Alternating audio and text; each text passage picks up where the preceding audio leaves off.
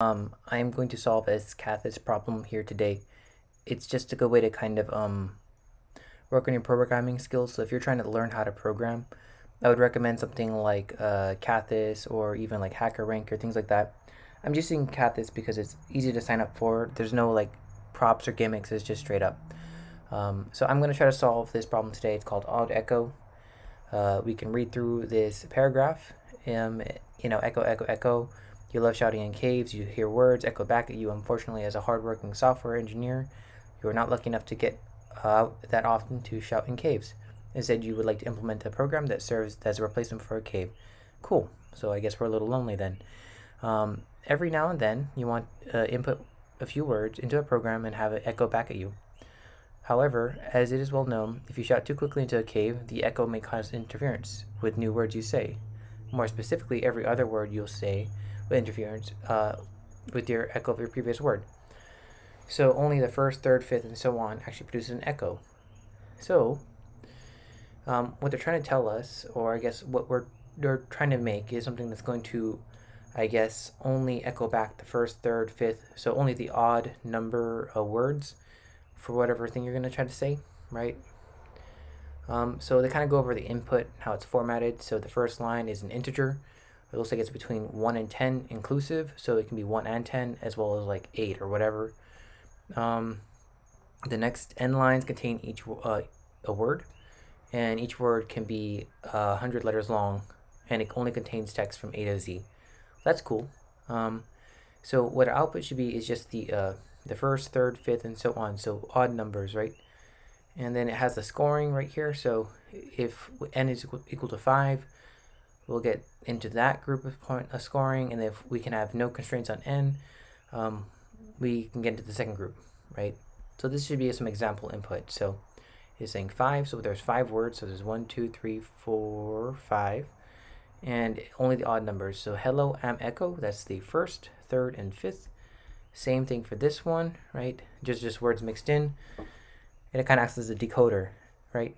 So let's get to coding now that we know what we're trying to do so um, first things first, we need to make some kind of thing to put the code into. So um, odd echo dot py. Let's solve this in Python. Why not?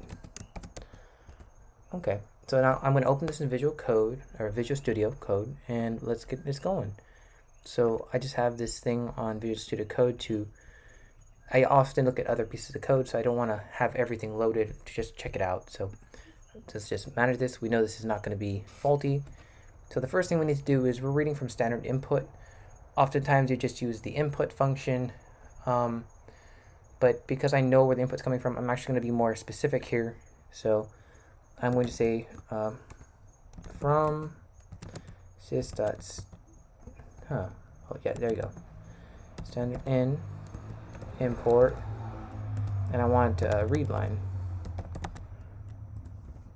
and it's just highlighting sys I'm pretty sure I spelled that right. Sys dot std and maybe I have to do import std in I can't import the function. No I guess that's what we're doing. Okay so well, let's make a main function. So this function will handle the majority of what we're doing.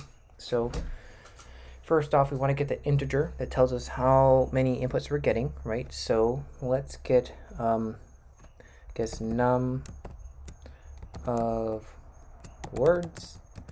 We're going to cast something because we're reading from uh, basically a string of characters. Uh, we want to make sure that's an integer, right? Um, so we're just going to do stdin dot readline, right? That's going to read the first line of input. So when we have this input sent into our program, right, it's going to read the first line, right? And we're going to read that 5 if we use this example problem. And that 5 will be converted into the integer 5 and stored into here, right? Now we want to make a for loop. So let's say for i in range number of words, right? And in this for loop, what we're going to do is we're basically going to check to see if we need to output the word. So if i is a, you know, a technically i starts at zero. So actually we need to increment it by one um, when we check on it. So if we say if i plus one, and then we're gonna take the mod because that's dividing it by a number and then getting the remainder. So if we're dividing by two and we get a remainder of one, it means it's an odd number. So if I say two, and I'm gonna equals one, I wanna print something. So I wanna print the word, right? But we don't have the word yet. So let's read the word in. So word equals, and we're just gonna std in dot read line. And now we have the word in here. And so if it is an odd word, it will print the word right back out to the main console. Now all we need to do is just, we need to call main. So I can just call main somewhere after I define it and it should work. So if I take this now and I run it, so I could do something like a python odd echo.py, it's now waiting for input. So I can just copy this and I could paste it here and it should give us the right output and it does. So it you know the output should be hello am echo and I have hello am echo. The only problem is I have this extra uh, new line between everything and I know why actually. It's because when we read this in there's already a new line character. So if you imagine here there's a new line character telling to go to the next line. It's reading that in and it's not taking that off. So when it prints it out it there's two new line characters because um, the print statement just puts a new line character at the end. So what I really want to do is strip it of that new line character. And now it should be perfect. And so I can paste that in now and it should have the right output. I can try it on this other guy. Let's run it one more time. I can paste that in. And you'll see only these words are correct. And that is exactly what the output should be.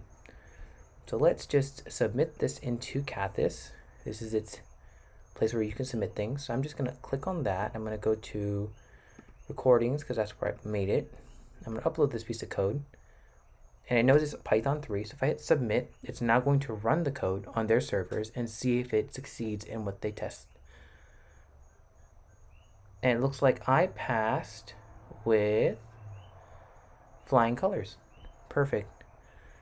So, yeah, that's a quick solution. Hope you guys have a wonderful day.